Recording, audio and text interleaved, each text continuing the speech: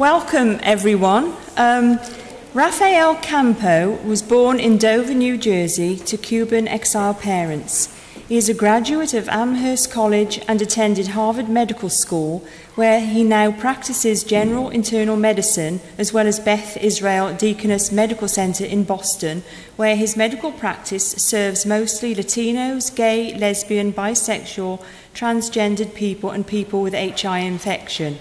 He has published a number of poetry collections, including The Other Man Was Me, The Desire to Heal, What the Body Told, and most recently, The Healing Art, a doctor's black bag of poetry.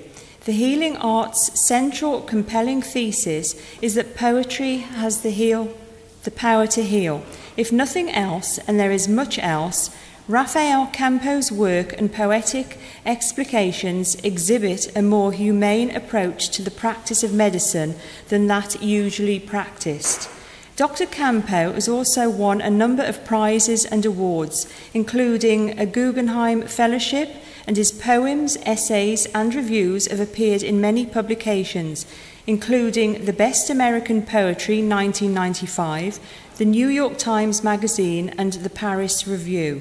In May 2007, Duke University Press published his fifth book of poems, The Enemy, to wide critical acclaim. The Diversity and Social Justice Project, project, project, the Department of English and the Dean of the Faculty proudly present Dr. Rafael Campo.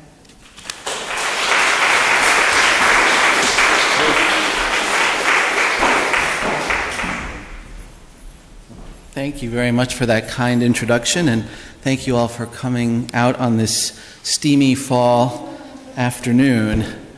I wanted to uh, uh, talk to you this afternoon a little bit about narrative and how narrative can be perhaps useful to us in medicine uh, from my vantage point as both a physician and a writer, particularly a poet.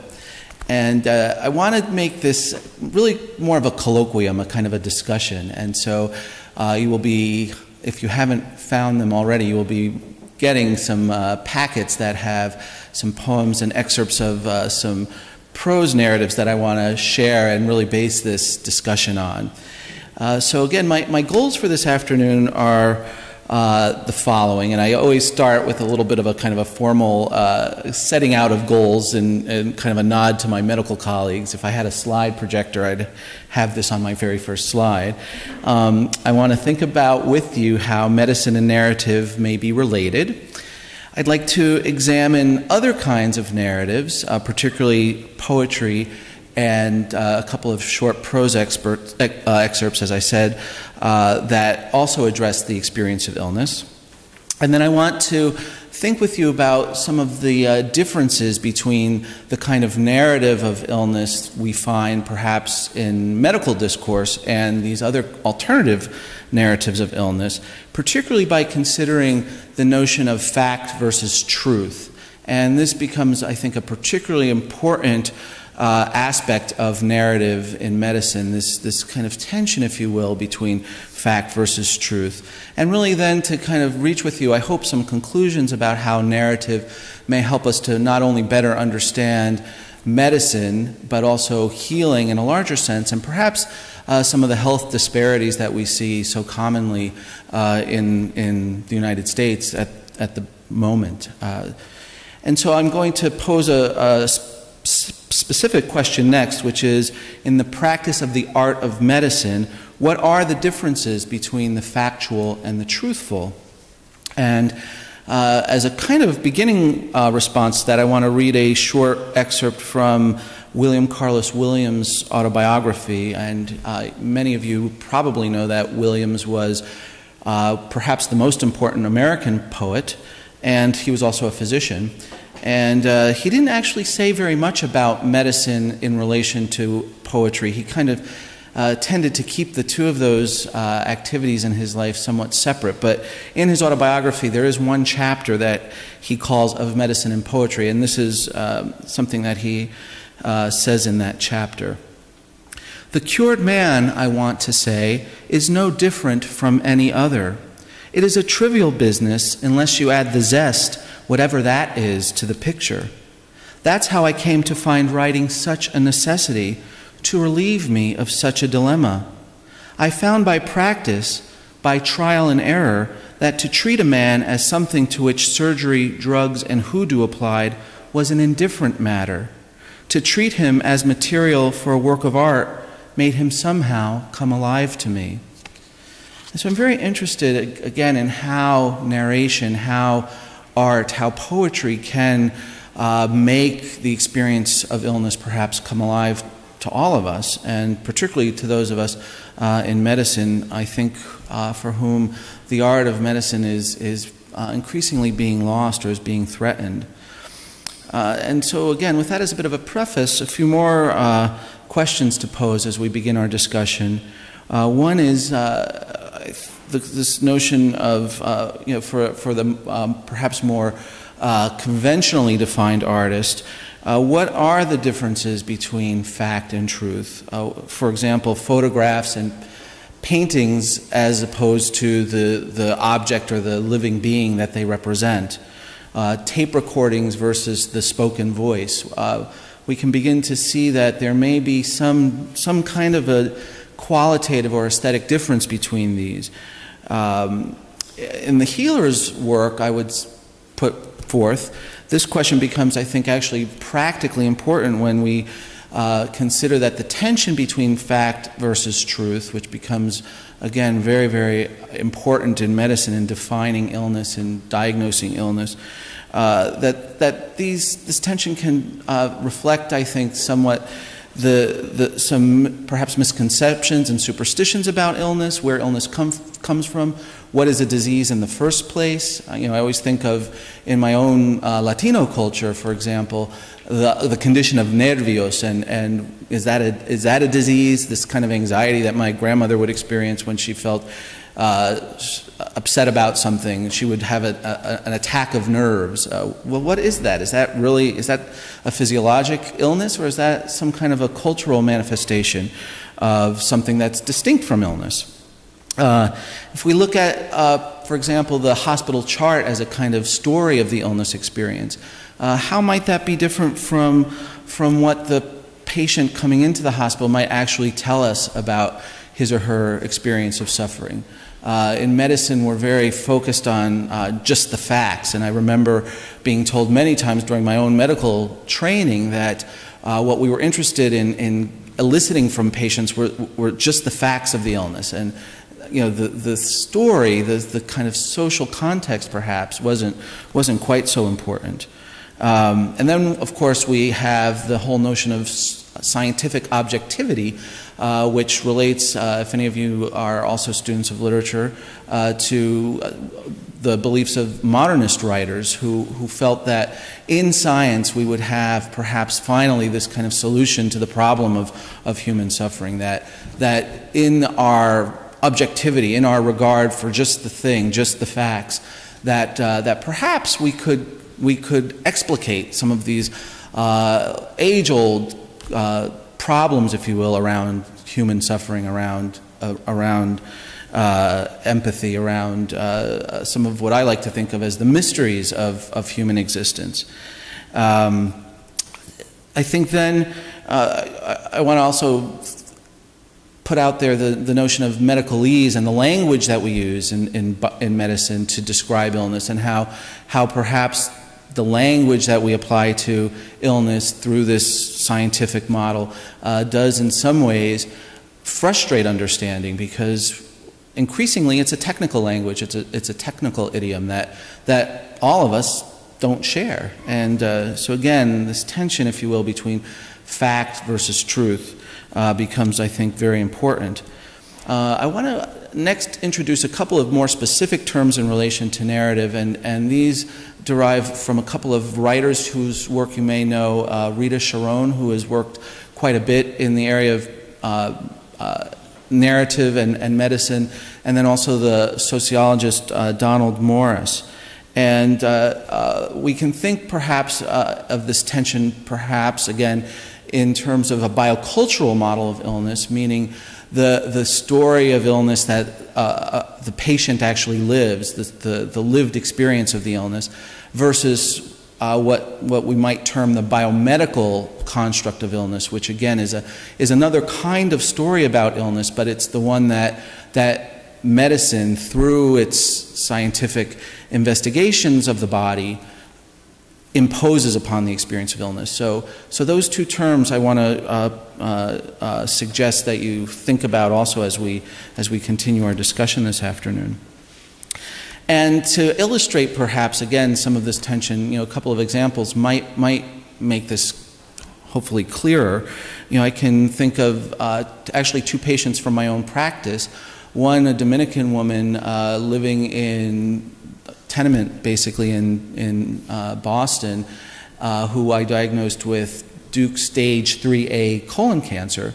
And the counterpart uh, of her, uh, another a woman about the same age uh, who was uh, sort of a dot com executive, lived in Wellesley Hills, and uh, had a, basically the exact same uh, diagnosis, biomedically speaking, the same stage uh, cancer, the same histology under the microscope.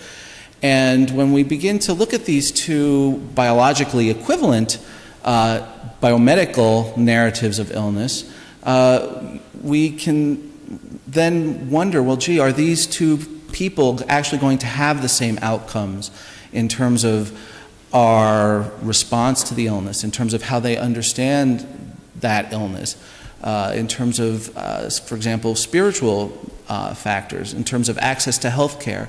Uh, it, as we begin to look beyond the histology and the number of positive lymph nodes and what the CT scan looks like, we begin to realize that indeed these are actually very distinct cases that they are not the same illness. They are not uh, biomedically exactly the same, although, again, our biomedical uh, discourse perhaps wants them to be for various reasons that I hope we'll, we'll discuss. And in fact, you know, there's actually very good data uh, from the biomedical model itself that, that tells us that these two women will actually have different outcomes of their illness. And in fact, they did. Uh, my Dominican patient died after about uh, six months of after diagnosis, uh, unable really to access care effectively, despite having a physician who uh, spoke her language. And uh, and my other patient is actually still doing quite well. And and and so again, something about these two stories is distinct and is actually manifest in in what happened to these patients. Another example I can give from my practice the, the young woman who uh, has HIV infection and who comes often to her appointments armed with you know, printouts from the internet telling me that uh, antiretroviral uh, therapies are toxic and that uh, discussions of uh, safer sex are a kind of patriarchal oppression of her sexuality and her body. And, and so, again, you know, my, my uh, biomedical attempts to perhaps define her illness as CD4 cell count, viral load, uh, opportunistic infections, all of the kind of biomedical criteria by which uh, we describe the illness that we know as HIV infection or AIDS. Uh, are, are challenged by her narrative of the illness. She's telling me a different story about what's happening within her body. And, and again, I want to wonder with you whether that alternative, that other uh, narrative of illness, has equal, if not perhaps more important value in understanding how to best treat that illness, how to best respond to that illness, uh, how to best uh, be a kind of healer in the larger sense in response to that illness. Um, and, and, and as part of that questioning, I, I, I, next want to propose whether literary writing, particularly poetry and uh, literary nonfiction or create, so-called creative nonfiction, might be a kind of useful bridge between these two models of understanding illness. Might accounts of illness told through poems, uh, through other kinds of narratives uh, be useful to us in medicine uh, to become better healers, but also useful to our patients in, in terms of how to better live with illness. And, and I think that uh, uh we, we might begin to uh, understand that possibility better by, by acknowledging that perhaps some of these modes of expression are culturally sanctioned and therefore less suspect than the biomedical model of illnesses. If we think of the African American experience of Tuskegee and the, the skepticism, I would say, that, that uh, in the African American community uh, that relates to biomedicine as, as a consequence of, of those events, uh, where again, storytelling, poem making, uh, expressions that come from community, that are expressions of community, might perhaps be, in some senses, more welcome, more useful. Similarly, I think of the, the experience of, of the gay community during the 1990s and uh, the medical establishment, as represented perhaps by our president during most of those years, Ronald Reagan, not acting on, on AIDS, not, not saying AIDS in public. Uh, and again, might expressions about HIV and AIDS, might narratives of, of the AIDS experience uh, that come from the community, might those uh, be equally useful or perhaps again maybe even more powerful to people living with the disease in those communities. Um, so again, a kind of, and I don't want to necessarily pit medicine against uh, uh, art in, in this way, but I also I do want to uh, contrast them, and, and again, I think that will help us uh, to think about some of the examples that I'd like to look at with you next. And uh, I think we have some copies of poems in in the uh, out there. Do do people have these packets?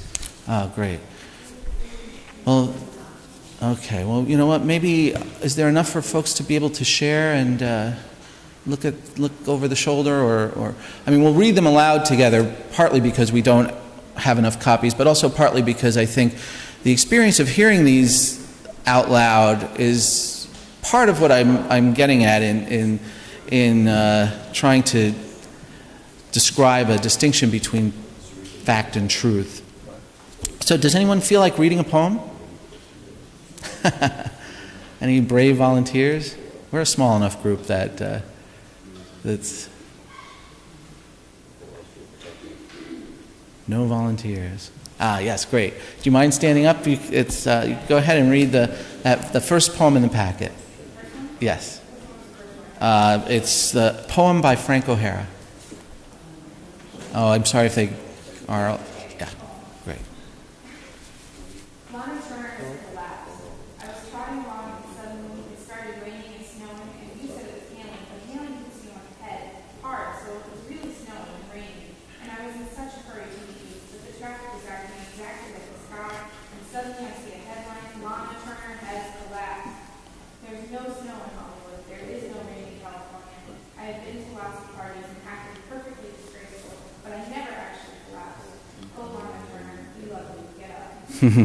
That's great, thank you. So, clearly a poem. Um, I want to, again, as I said, have a conversation with you. So, so let me ask uh, what, if, if you had to sort of point to a kind of a fact in, the, in this poem, what, what's the sort of the, the fact of the matter? What's the, what's, the, what's the factual thing that happens in this poem? Maybe we can start there. Yes? Absolutely. And so, how, and how do we know that that's the, that's the fact? What, what, it's in capitals, right? It's the headline. It's what we read in the newspaper. Absolutely. So, so yeah, so that's the fact. Lana Turner has collapsed. And what, what does the poet begin to do with that fact? How does, how does the poet in a, uh, help us, I think, enter into the experience of what is a kind of a cold, hard fact of this poem?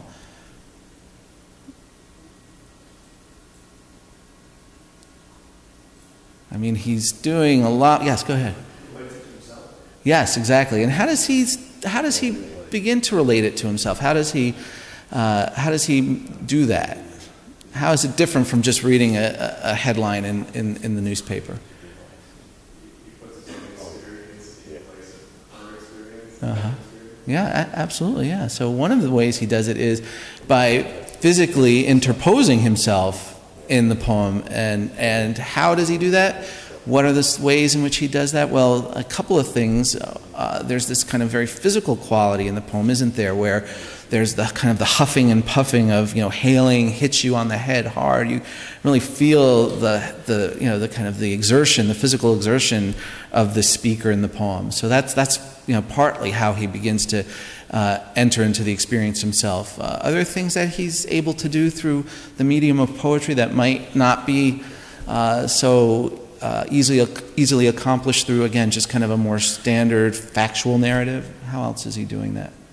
How else is he inviting us to participate?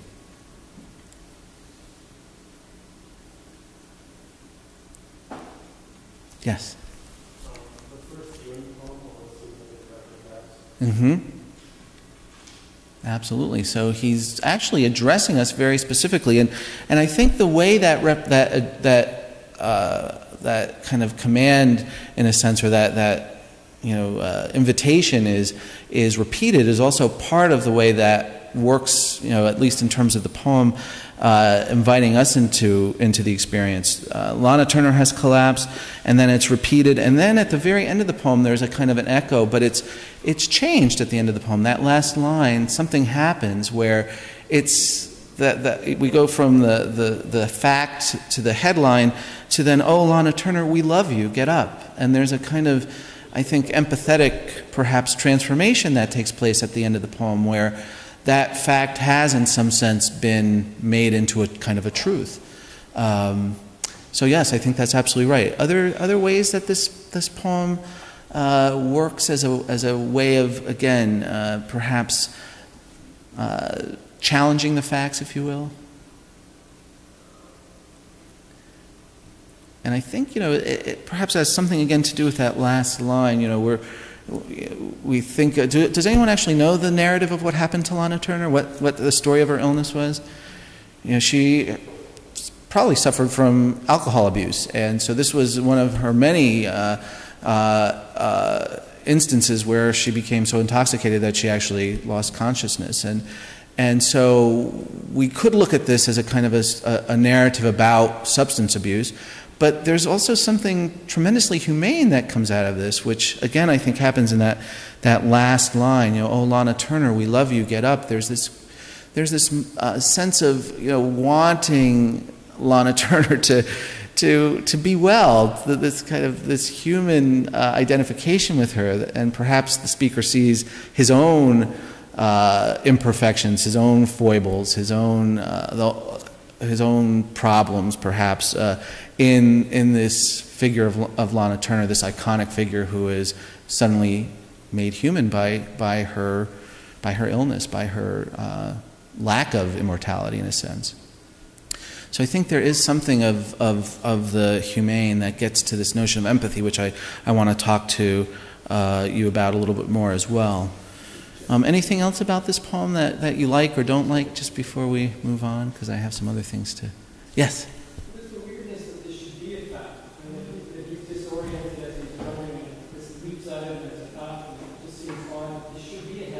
Yes.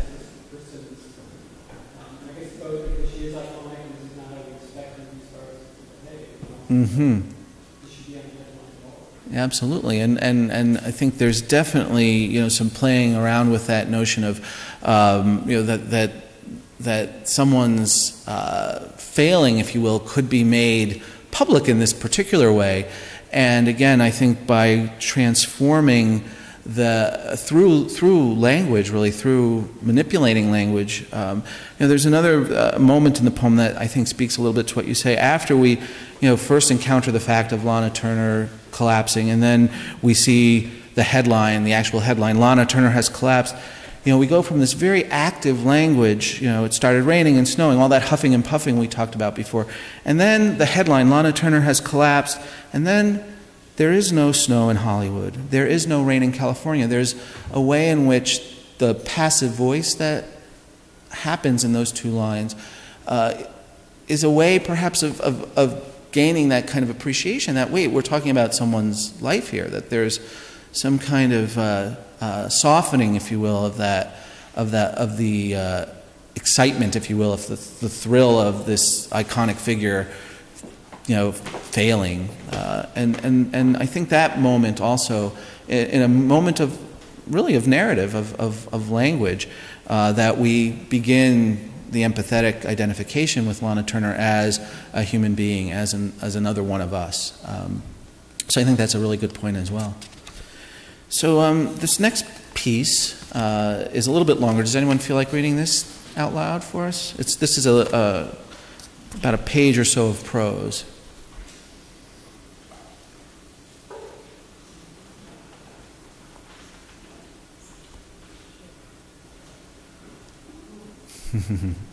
I'll get someone, I know. All right, thank you. Yeah, if you don't mind, just because we can hear a little better. You, uh, there's a mic up here at the front, too, if you like. Thank you.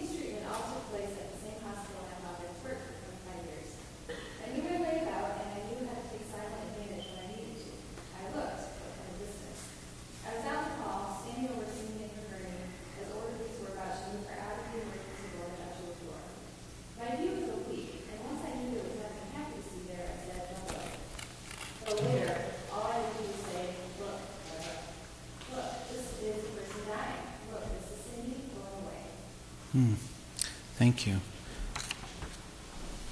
So, uh, again, if we begin perhaps from what we might call uh, the biomedical fact of the case, uh, what, what, what's the fact in this narrative? What are we, what are we uh, seeing here? Mm-hmm. Right, right. And again, you know, this is clearly, uh, uh, immediately, I think, uh, an example where the, that factual uh, narrative is, is called into question by, by the speaker, by the, by the writer. And, and how, does, how does the fact of Cindy's uh, breast cancer in this, in this example, how does that begin to get transformed? How does that begin to be questioned? At the very beginning of the piece, we, we hear the speaker say, you know, this is, she died of breast cancer at age 26, a fact which I find unbelievable, a fact that is virtually statistically impossible. So again, immediately we're made aware of that tension between the biomedical narrative, Cindy has breast cancer, and this, the impossibility of a young woman dying of breast cancer. So how does, how does narrative then begin to help the speaker and help us un, you know, bridge that, bridge that uh, impossibility, bridge that gap, bridge that distance between the facts and, and what we might call the truth.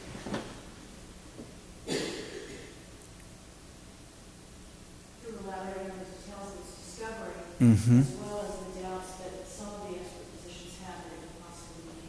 Exactly. So, so that's very uh, kind of human uh, response, if you will, to something that, that doesn't make perhaps narrative uh, sense is to enumerate the, the details, is to enumerate what happened. And, and some of the details are, are incredibly gripping. Uh, what are some of the ones that really stand out that, that again, make us feel perhaps the kind of the, the truth of this uh, experience? What are some of, some of those details that really. The dad is going to break the social pattern. Mm-hmm. Yeah.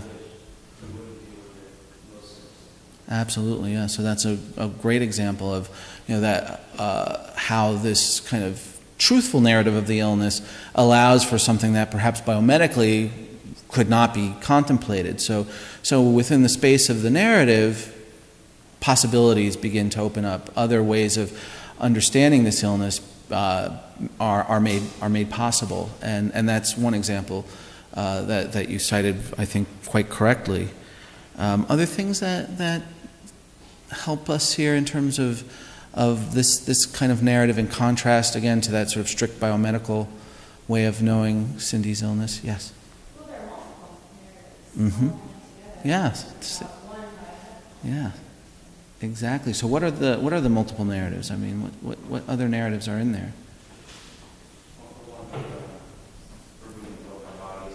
Mm-hmm.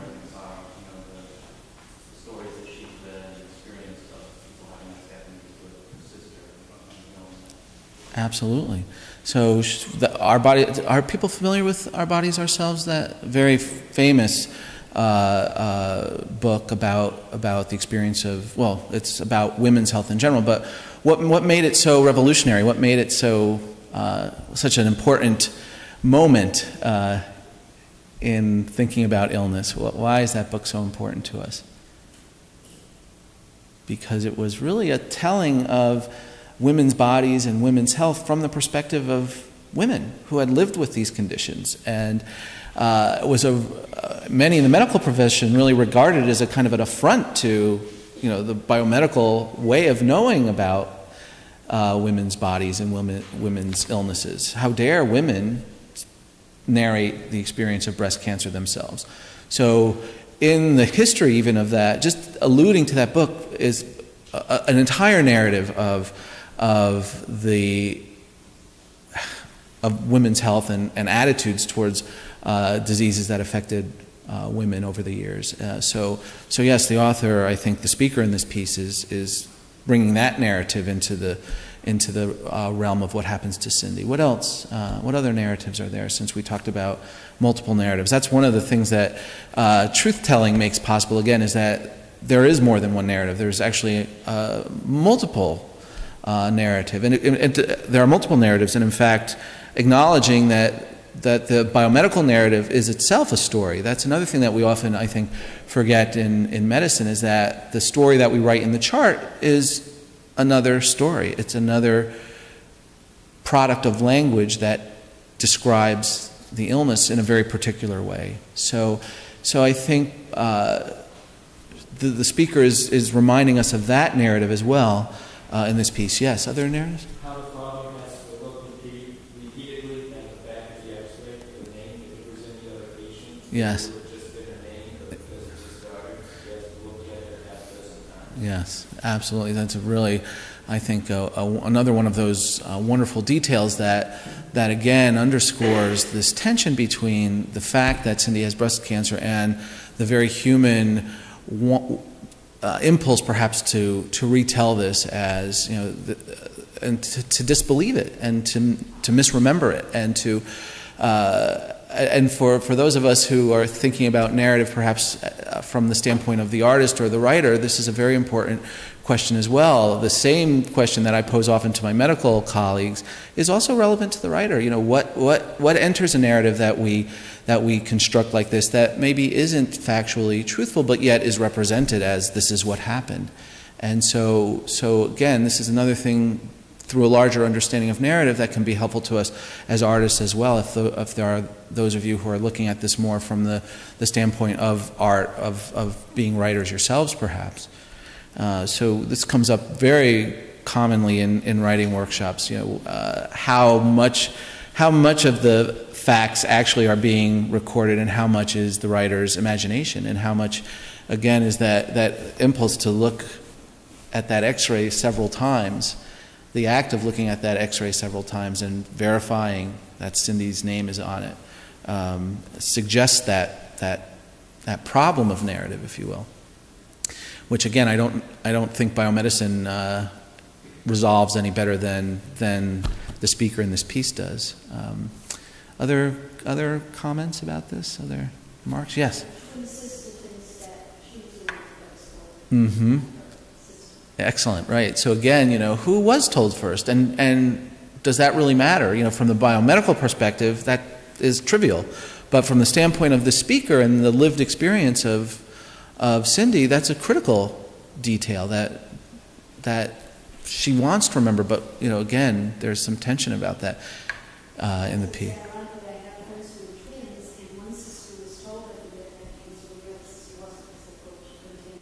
Mm. Wow.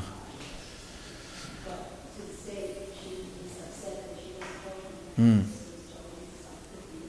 Absolutely. And that's a, a, reminder for those, again, looking at this from a more biomedical perspective. You know, often when I'm discussing this with colleagues in medicine, that, you know, again, something that might appear inconsequential to us from our sort of just the facts biomedical narrative uh, actually is, has all kinds of ramifications in the lived experience of the, of the, of the illness and the family and the the many, the myriad narratives that uh, actually comprise the story of, of, in this case, Cindy's illness.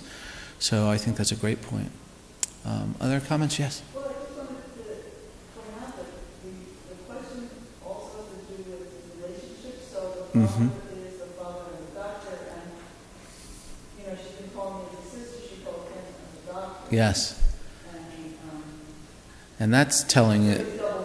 Yes, absolutely. And it's interesting that in this particular narrative that the father is also a doctor, and the, that kind of dual identity here provides an opportunity for examining, uh, again, perhaps the biomedical narrative as represented by the doctor role of the father, and again, the sort of more biocultural role of the doctor as the father of Cindy, and how, again, the doctor and the father is looking at that x ray over and over again. So, uh, as someone said before, we never would do that in the sort of standard biomedical uh, realm, uh, even though probably we should actually to verify the identity of patients. And there are many examples of, of, of uh, bad outcomes that relate to not verifying the identity, identity of a patient. But, but in that moment where he's looking at that x ray over and over again, he's performing both roles. He's being both the father who disbelieves it and the doctor who knows this is, uh, this is terminal breast cancer. So, again, the tension between those two narratives is made very clear in that particular character in this piece. So, so those are all great observations. Can we? Uh, I want to make sure we have time to talk about at least two more. So maybe we'll move on to the next one, but does anyone feel like reading this one? This is a very short one.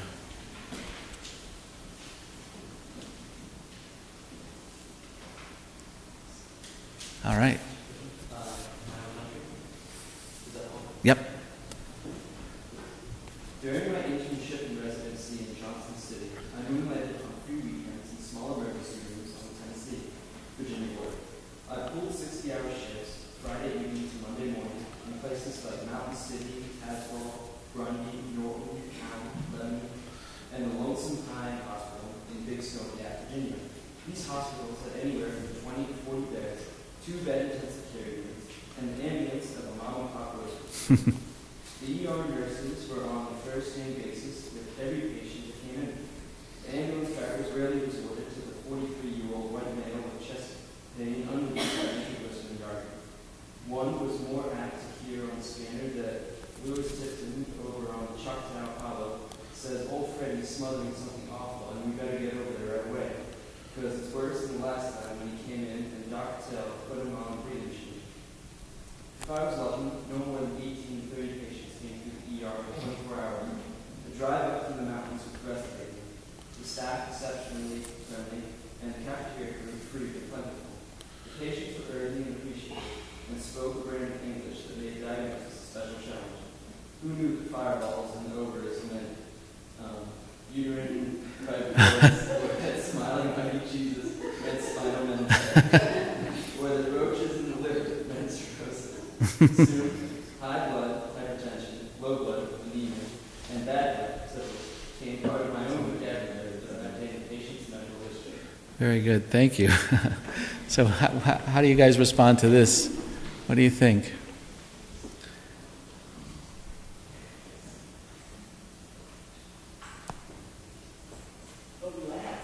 Yeah, so we laughed. Why are we why were we laughing? What was funny about it? Yes.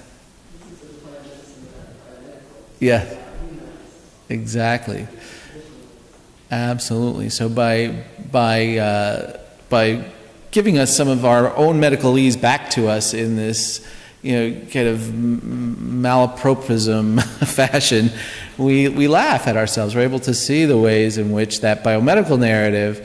Uh, with its medicalese and those terms that res- resist empathetic connection actually can be transformed through humor into a way to connect. And this speaker is a physician who I think through this narrative, the larger narrative, this is a very short piece of the book, but uh, the, the, the, kind of the larger story in this narrative is the way this doctor who's, who's trained in the sort of strict biomedical narrative or model begins to identify with these patients and uh, mostly AIDS patients actually who come to this small town to die because they have, you know, there's no treatment for AIDS during the time uh, that this book was written. So, so yes, so that, that those those mispronunciations uh, humanize these folks to us without without I think you know uh, condescend, in a condescending way or without patron, patronizing them.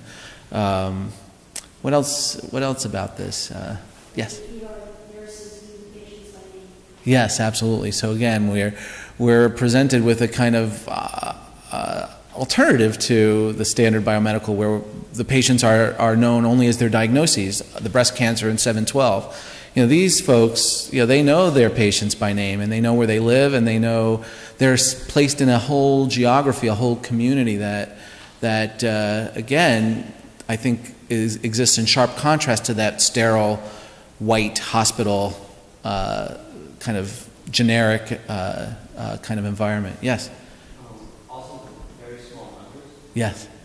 If you know, think about ER and the numbers that go through there, I mean, they're, they have time. There's actually patient, doctor, or patient in- interaction. hmm Absolutely. There's all kinds of ways in which those sort of boundaries are are violated here. You know, we you know the, the, the they're on a first name basis. They, you know, the, the food in the cafeteria actually isn't terrible. You know, I mean, these you know, there are ways in which this this way of of of practicing medicine is is again presented in a more humane fashion, and again, I think poses some questions about the more standard biomedical narrative of illness. So that's that's great. Other things that you see in this? Yes. Would there usually be a glossary, uh, translations compiled by a team of experienced ER people for newcomers, like roaches in the liver equals so and so? you know, that's a good idea because it, he obviously learned through experience. It seems that he, he by, by listening actually to the patients for change, was able to, to develop that glossary, that, that understanding of, of their language, which again is an interesting thing to think about because usually we're asking patients to learn our language when they come into the hospital, and we don't we don't uh, make much effort at all to to hear them, to listen to them, to hear their to hear their language uh, in the way that this this particular physician, I think, begins to do in this in this narrative that that we're discussing. So, um, other comments about this? Yes. As a literary person, so I'm not so interested in the fact that as words change the medical words, but as the words that are developed. Yes. I mean, they are meaningful. Absolutely. And, um, you know, and the other oldest, and smiling, you know, some of these old things that are interpretable. Yes, exactly. Say more about that. Yeah, yeah. I mean, they, they so they're not just sort of cute misunderstandings, are they? But they actually carry meaning about what these patients understand these conditions to be.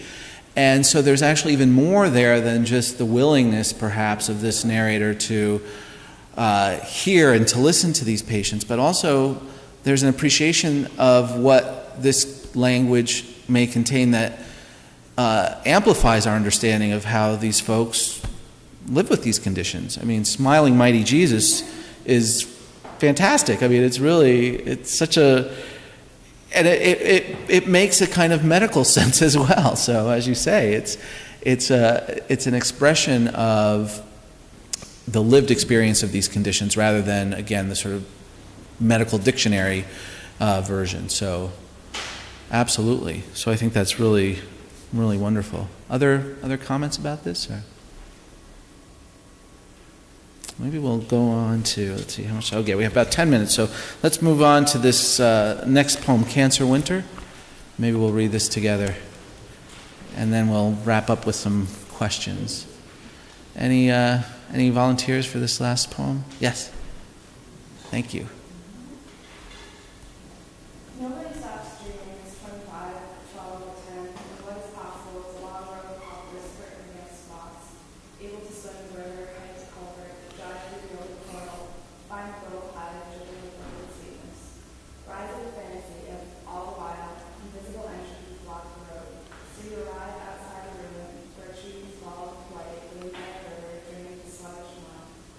The setting sun was terribly like blood. The hovering storm has nothing to forgive. Your voice petitions me a different way. I don't know how to die yet. Let me live. Hmm. So, what do you? How do you respond to this piece? What do you think?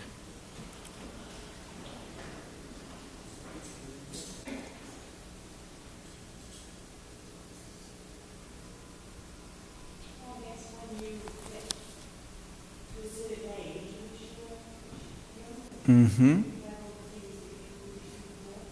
Mm-hmm. Absolutely. So there's a yes.